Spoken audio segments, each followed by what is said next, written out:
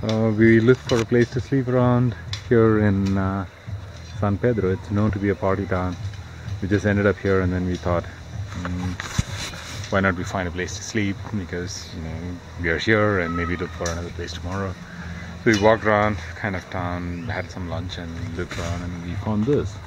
It's a nice bit of garden and see what's up there. A tree house